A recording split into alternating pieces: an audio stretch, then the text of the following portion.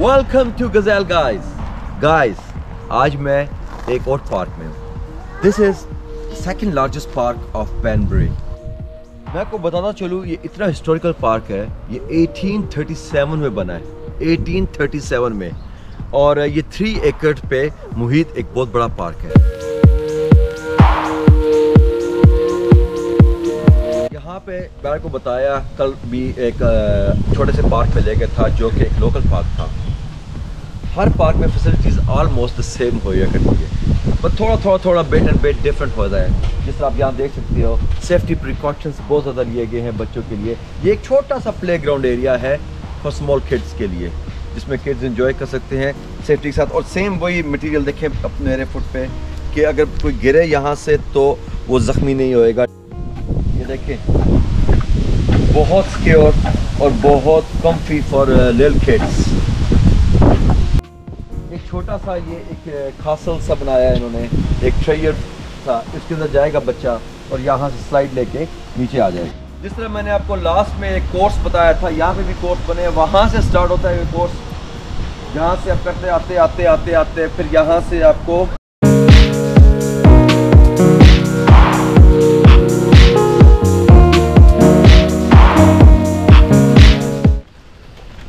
ये उस एरिया से हम बाहर निकल रहे हैं। बाकी पार्क के हिस्से की तरफ़। स्कूल ले स्कूल से बैठ के। Parks always relaxing for everyone जो नॉर्मल नेचर के करीब ले जाते हैं हमको। और uh, बहुत हेल्थी एक्टिविटी भी है। लोग वॉक करते हैं जॉगिंग करते हैं। और एक्सरसाइजेस करते हैं। और ये आपको बताता चलूँ कि ये वो पार्क है जिसमें आपका जिम इक्विपमेंट भी लगा हुआ है and that's free of cost for everyone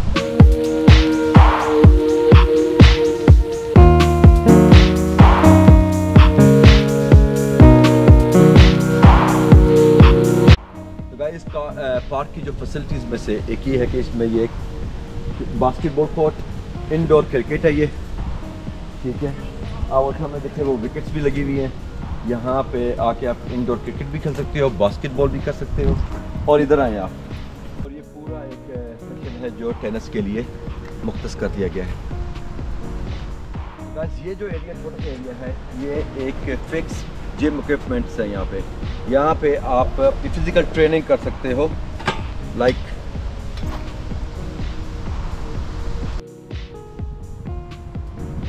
आपके लेग्स की एक्सरसाइजेस ये पुलअप्स के लिए ये बैठ के करते हैं तो अभी ये थोड़ी सीट गीली है तो ये लेट के बेंच प्रेस है लाइक दिस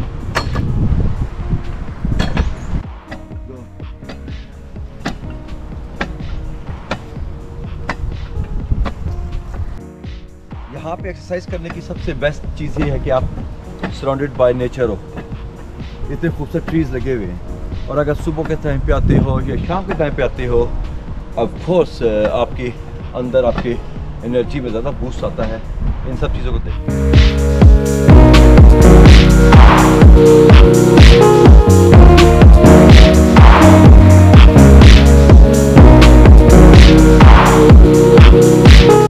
गाइस हर बंदा यहाँ पे सब बिज़ी होता है अपने अपने कामों में अपने अपने कोई यहाँ पे वॉक कर रहा है जॉगिंग कर रहा है, कोई डॉग्स को वॉक करा के करवाने के लिए आया है, कोई बच्चों के साथ आया है, किसी को किसी से कोई गर्ज नहीं, ना परवाह।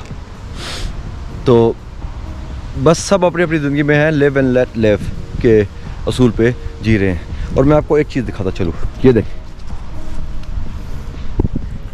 डॉग्स एक्ट भी है यहाँ पे।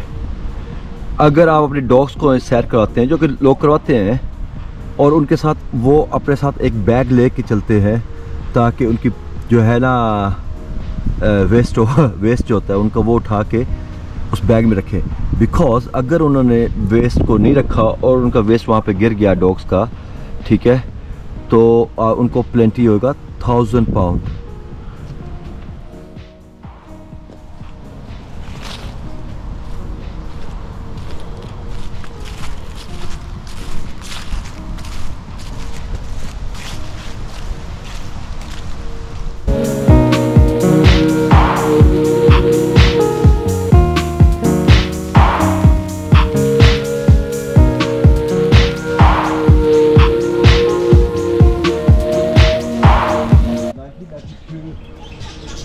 बड़ा ये केज इसका नाम है जूबली एवरी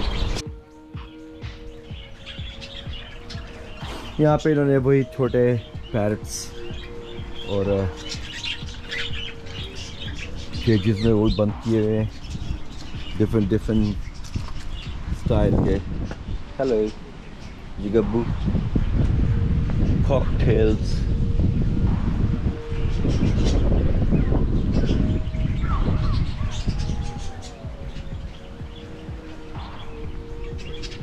ये ज़्यादातर यही है इस तरह के।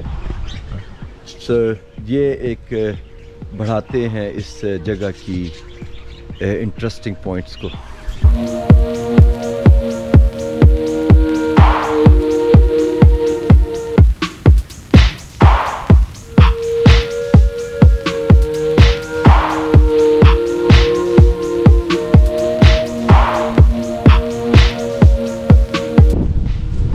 Great war world war two उसमें ब्रिटेन का बहुत बहुत नुकसान हुआ।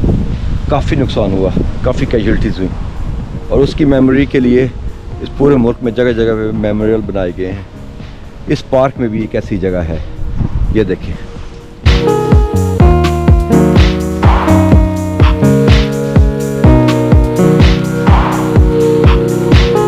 उम्मीद करता हूँ आपको ये पार्क और इसकी खूबसूरती और इसकी नेचुरल लुक बहुत पसंद आई होगी। यहाँ पे हिस्ट्री जगह जगह पे बिखरी हुई है। बहुत हिस्टोरिकल प्लेसेस हैं इंग्लैंड के अंदर। देखिएगा, दुआ में याद रखिएगा। Don't forget to subscribe my channel and hit the bell icon and do whatever